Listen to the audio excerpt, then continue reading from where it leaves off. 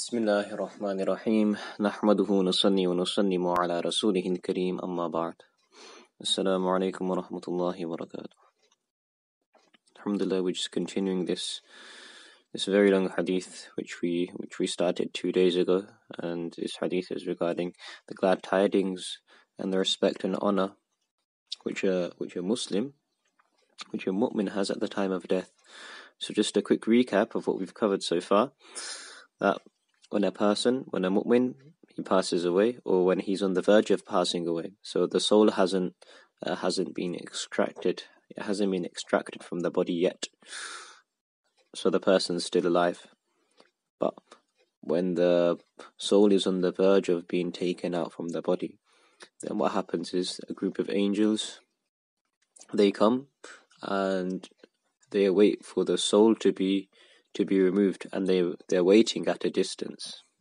And the angel of death, the angel of death will come, and it will sit by the headside of of the person who's about to pass away. Then the angel of death, it will take out the soul, and it will pass on this soul to those group of angels. Now, these group of angels, they will put the soul in in the shroud, which has come from Jannah, and they will uh, put some fragrance uh, upon this soul, and this fragrance will also come from from Jannah. Now, the these group of angels they will ascend with this soul, and they will take it towards the skies until they reach the seventh heaven, and this is where we reached. So now, once the this soul it reaches the seventh heaven, Allah Ta'ala will say, فَيَقُولُ اللَّهُ تَعَالَى اكتبوا كتابه في عليين وَأَعِيدُوهُ إِلَى الْأَرْضِ So Allah Ta'ala will say that اكتبوا كتابه that uktubu means to literally means to write but in this case it means to to affirm to confirm basically so and kitabahu kitab means book but here it refers to his book of deeds so Allah Ta'ala says, confirm his book of deeds to be fi illiyin. In illiyin. Now, illiyin, there's two meanings to this. Or there's two ways that the word illiyin has been uh, interpreted. Allah Ta'ala mentions this word in the Quran. كلا إن كتاب الأبرار لفي عليين. So the first, uh, the, the first meaning can say of Illiyin is that the word Illiyin refers to a register. A register where the the souls of the pious and the souls of those high ranking uh, exalted believers uh, will be placed basically. So their book of deeds, they're inside this register.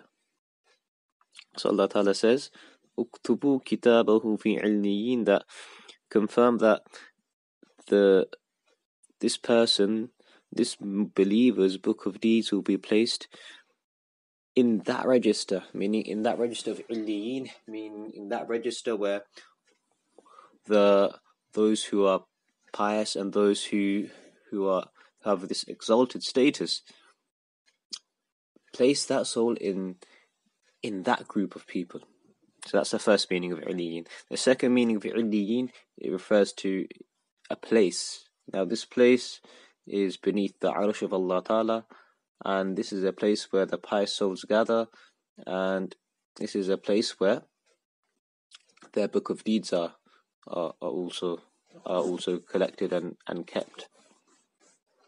So, so Allah Ta'ala says, Uktubu kitabahu fi that places Percy's Book of Deeds in Illiyin, so either it's referring to the register or either it means that that put his Book of Deeds in in the place which is known as Illiyin.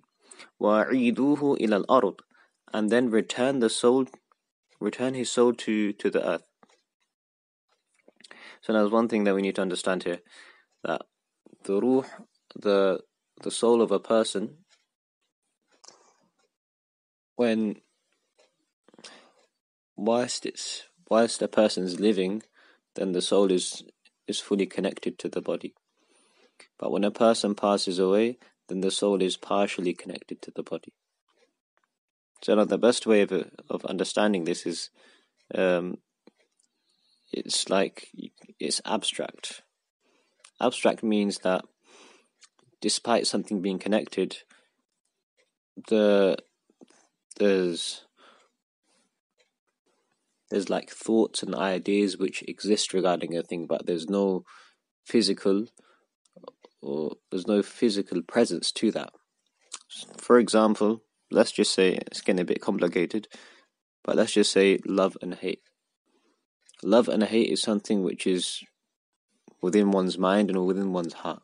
There's no physical concept or there's no physical existence for love and hate. You can't see it. So same when it comes to the ruh, that it's that the the ruh when a person passes away, it will be connected to the body. But as for the ruh experiencing the the delights and the pleasures of the, the good abode which you'll be in, or perhaps as for the ruh experiencing the punishment and the disasters of of the bad state that it'll be in, this is something which is abstract. This is something which there's no physical evidence for. You can't see it. Rather, this is this all this you know this either this reward or this punishment is happening to the soul. So the best way to understand this is like a dream. When a person sleeps, then when a person sees a good dream, then he sees that okay, he's experiencing all these pleasures and all these delights. However, if there's a person who's sitting next to this person, uh, and this person's in a dream, and he's going through these, you know, wonderful sceneries and these you know, wonderful pleasures and and so on and so forth.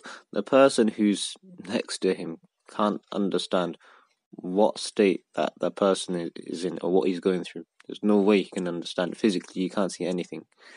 And same applies, for example, if a person sees a bad dream. Now, when a person sees a bad dream, then physically there's no there's no idea that you can tell. Everything's inside the mind. Whatever horror, whatever panic, whatever anxiety the the person's going through, it's all inside the mind. So same for a person when they're inside the grave, that their souls, or if they're being rewarded or they're being punished, then it's kind of like a dream. That's the best way to understand it. That physically they're dead. And physically you won't see them being punished. You won't see that there's fire in their grave or you know the or they're being uh, given rewards and fruits from Jannah. Physically, physically, nothing like that will be seen. But all of this will be taking place with the soul, kind of like a dream. But obviously, it would be the reality would be much more stronger than a dream. so now Allah Ta'ala says, وَأَعِيدُوهُ إِلَى الْأَرْضِ So Allah Ta'ala is saying that return the soul back to earth. Meaning, currently at the moment, the soul was taken out and the soul was removed from the body when the person passed away.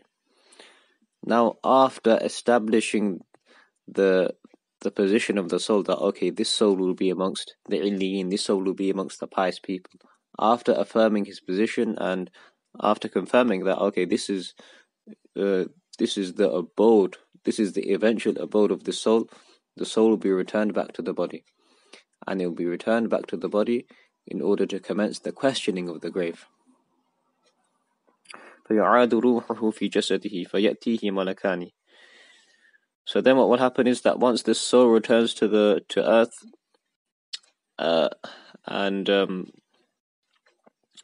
the the, the ruh it goes back to the body then two angels will come and two angels will sit by and the, the angels will start questioning the the the soul meaning the questions of the grave will begin so we'll leave it to there inshallah ta'ala May Allah ta'ala gives the tawfiq to benefit subhanallah bihamdi subhanaka allahumma bihamdika ashhadu an la ilaha illa anta astaghfiruka wa atubu ilayk